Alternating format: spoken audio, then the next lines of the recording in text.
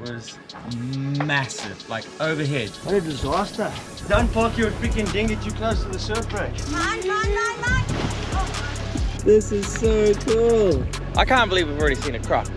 Let's find another one. There's uh, jaguars and pumas. I can't believe what we just saw. The wildest Costa Rican coastline ever. I've always wanted to do something like this. This is the life we all want. The coolest place, the coolest people. What?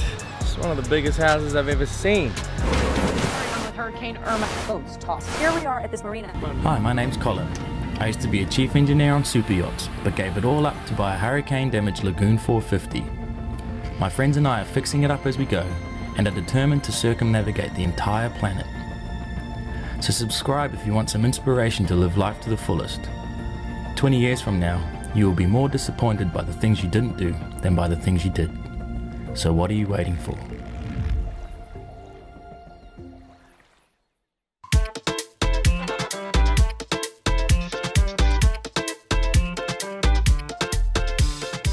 You excited to have your new board back? Yeah, got them repaired in Tamarindo. My Tropics board, this brand new one that they made for me in Bocas del Toro, came out of the rack and smashed the tail on the deck. It's a lot of glass work and I know you guys are gonna be ashamed of me, but I paid someone to fix them. 200 bucks, three boards, not bad.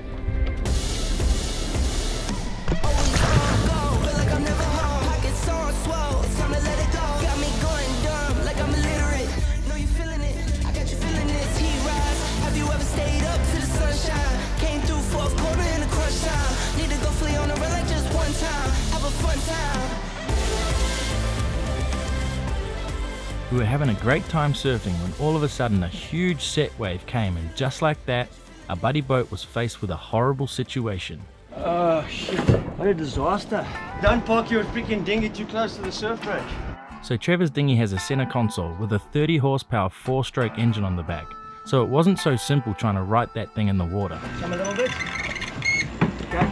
Okay, whoa, whoa, hold it, hold it, hold it, hold it. How we can flip? Maxed out. Okay. Um, now if we jump on the other side, So we went to go for a surf this morning and Trev parked his dinghy and then the set came and it was massive, like overhead. And it just came in and there were like four waves in the set and then I saw the first one and I was like, oh first one shit. just missed. I was the closest one to the dinghy, so I just started paddling my ass off. And I was about three meters away, and then the last wave of the set just picked the, picked the dinghy up and just fucking threw it. And then it was upside down. I jumped off my board, and then I think the the anchor, the the, the anchor rope, just went straight through my board. Because there was so much pressure on the dinghy, because the anchor was still down. Right. You put the odds on being at sea for two for two years, running a dinghy into the surf zone and that. What, what are the odds? We did exactly the same thing in Playa now.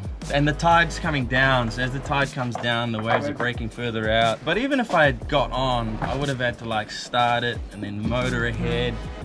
That that set, it, it was gonna take that thingy no matter what. Then- Then the swell, of the waves were pushing us towards the beach.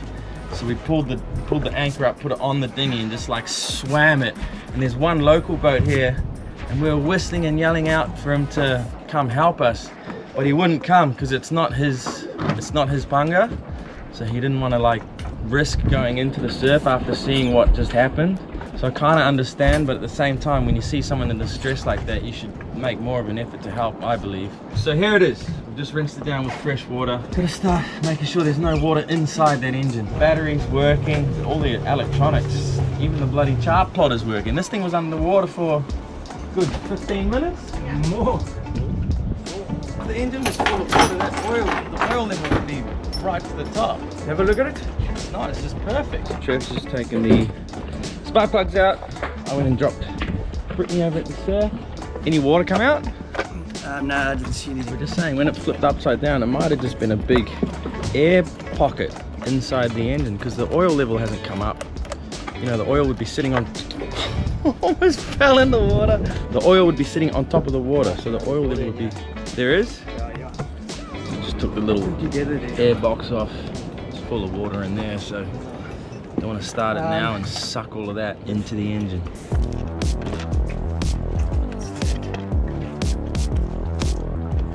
That's your Filter. There's your air cleaner. It's just got to get dried out.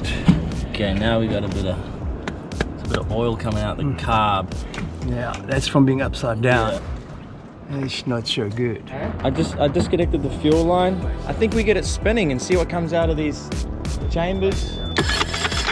By the way, I have no idea how the battery, ignition, and starter motor was still working at this point. We've got water coming out of one cylinder. That's turning over nicely though. Pretty much all the water has come out of that one cylinder. I think we'll put the put the sparks back in and it fire go. it up and needs to run, needs to get hot, needs to get that oil circulating again. Let's fire this thing up. I think it's important to get it hot and get that oil circulating around.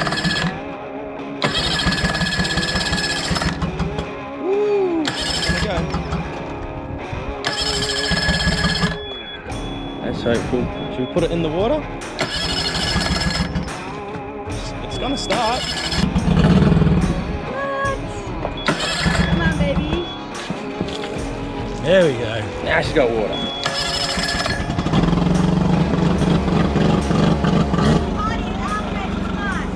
Not again. Not again. this had nothing to do with all the wine that we had last time. cab sav and a Merlot cab sav. Here we go. He says he's gonna get three from three. Purring away. It's running like a dream. The key things were that we got it running almost immediately. It wasn't sitting around with salt water in it. I think the starter motor needs to come completely apart because that thing had water running out of it. And then uh, an oil change and it's good. We're at Ollie's Point and we're just gonna go up the river mouth. Because when I flew the drone over, I can see a big lake there. It looks like there could be like crocodiles and stuff in there. I'm a little bit worried about the um, entrance of the river because I can see waves breaking into it. I think we've flipped enough dinghies for one day, so we'll take it easy. That was the easy part, getting in, getting out through that. Oh, this is nice. Look, there's one right here. We just came in, it's got its mouth open. So sketchy. I let the dogs run on this beach at one time.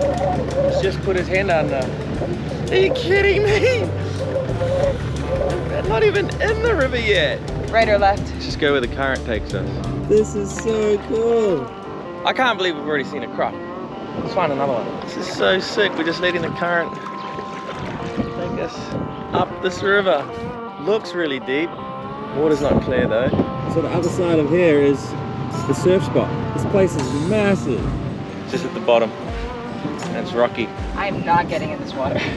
Let's have a walk over the hill here. Okay, that's good. No crocs. No crocs. Ollie's Point only works at low tide and it's dead high now. That's why we're up the river. So you can't see any waves. There's some tracks here. I, there's no dogs here, but there's uh, jaguars and pumas. I wasn't expecting to come this far up the river. Got less than a quarter of a tank. She'll be right. That's why we bought a radio. My idea. It was Trevor's idea. We weren't gonna bring a radio at all.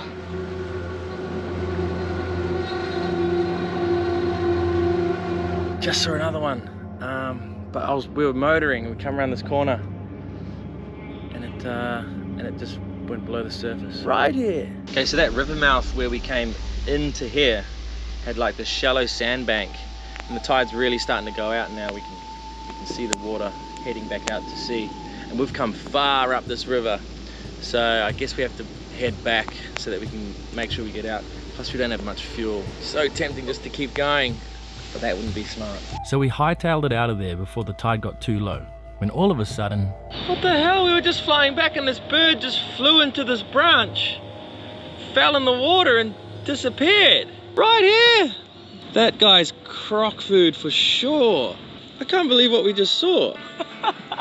He literally hit the tree, fell in the water, disappeared, and this thing was like this. But he was, he was, we were, we were following him for ages. He was flying so nicely. Look how, look how fast the current's going out now. We got to go. So we're at the river mouth.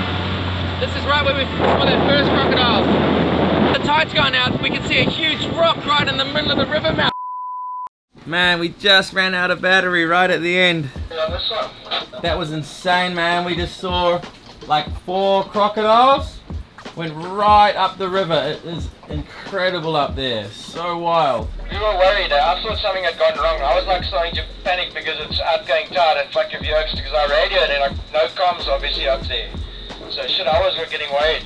There you go. Just epic. What a day. We've had the dinghy flip. We've had a shark come swim straight towards us. Now we've had crocodiles up the river at Ollie's Point. The wildest Costa Rican coastline ever. So cool. The next morning, we went for one more quick surf when some of our other friends popped into the anchorage. You can't pull it out. I think you might need to move forward just a little bit so we can get it up. Okay, we're leaving now anyway. Alright, sweet. It was good fun. What's firing this morning? Well, that was super fun. All, all the um, surf charter boats left. And it was just me, Simon, and uh, Gigi came out in the end. Such an unreal spot. Caught up with Max. Remember Max? He was with us in uh, the San Blas Islands. We've been seeing him all over the place, and he just happened to be here. And um, I guess we're going in the same direction, and with sailboats. So I guess it's a race. He doesn't know it yet, but uh, that's what's happening. Max, you want a race? Let's go! So once we come around this rock, we'll put the head sail out, and we'll be racing. See the head sail's just fluffing right now because we're all pointing straight into the wind. Look at that head sail. Their head sail's like twice as big as their main. This is classic advantage of a monohull over a cat. He's able to point higher into the wind. I can't even get round this bloody headland right now. He's got the right of way right now, but I'm not gonna move.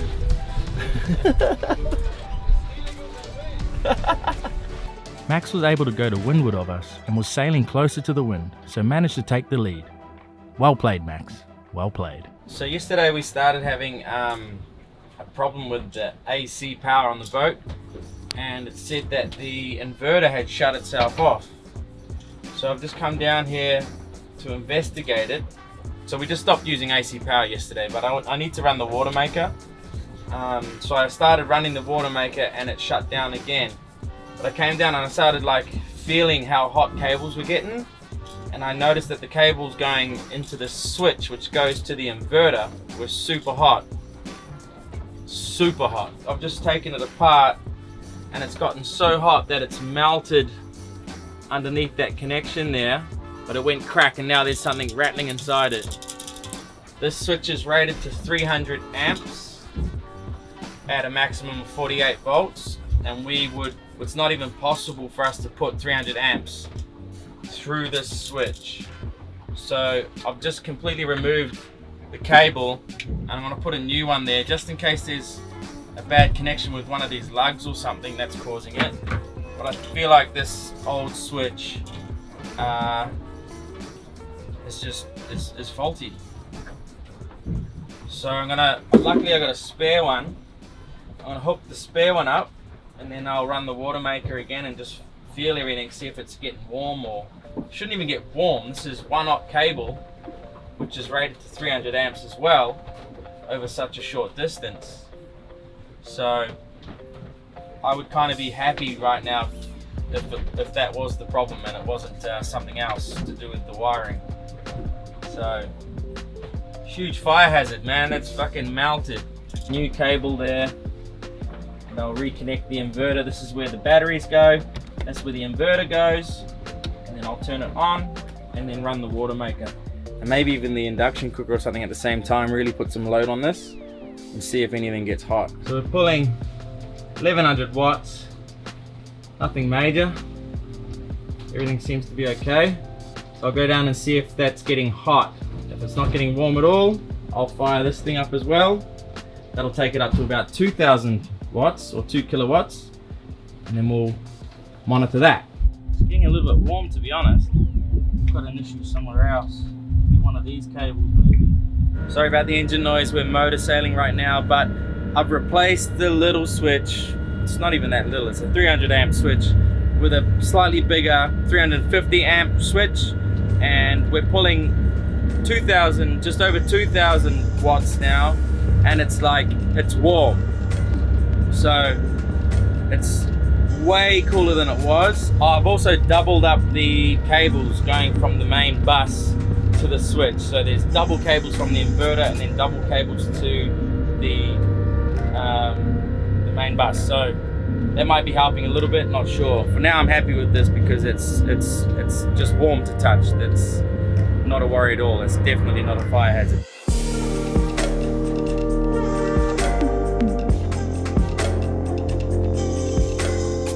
So we're at the bar yesterday and uh, a couple ran up to me. Oh, my nose is peeling. You see that? Too much sun. And they uh, recognized me from the YouTube channel. Um, they said they're fans of ours and we invited them over to our table and we ended up having a few beers and they were just super lovely.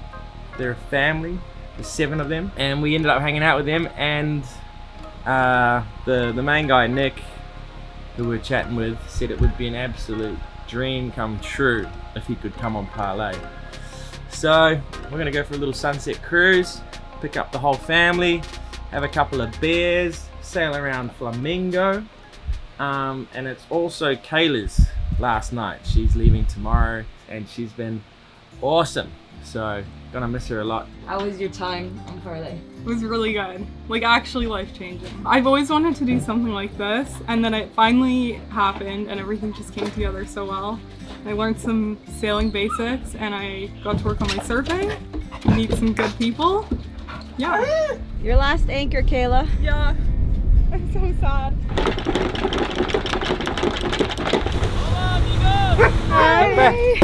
Guys, this, this green mat, mat is the dog toilet, so don't, Okay. don't fucking get on it. All right, no stepping on the dog toilet. What's up, brother? Good to see you. How you doing? Well, uh, this boat is beautiful. This is the best ending to our trip. yes. Last day. Yes. about to see the world in action what we can be life with no distractions we'll get away this is what we waited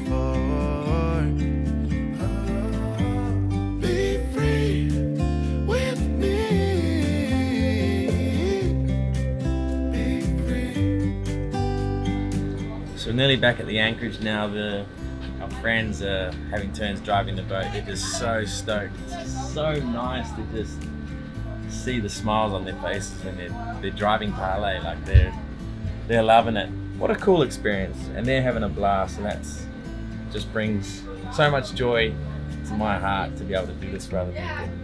It's cool. It's what it's all about. That's Dallas. The OGs. Oh, oh my gosh. Such a fun cruise. This is the life. This is this is the life we all want. The coolest place, the coolest people. How was your last sail on parlay? So good. Not bad way to send you off, huh? Yeah, that was the best sail we've had all month, so it was really good. What's what's happening now? Going to the fire What fire? at a mansion. What mansion? A mansion of the people that came on the boat. They've invited us over for pizza and some beer and a bonfire and a jacuzzi and a swimming pool and a what else? Hot tub. So we're gonna go. What the?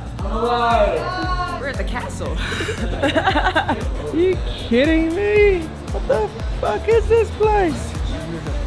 What? It's one of the biggest houses I've ever seen. Apparently we gotta check out this bathroom. This place is massive. But apparently it's only four bedrooms, so the bedrooms must be huge. Holy shit, yep they are. Are you kidding me right now? Are you kidding me? This house is huge. M- MTV Cribs. It's the bed test. this is just the balcony of one of the rooms. There's another one that way. Bed test, no um. arms. The best bed in the whole house. Cheers. It was great to make some new friends and spend some time in a house, which we don't get to do very often. And what an impressive house it was.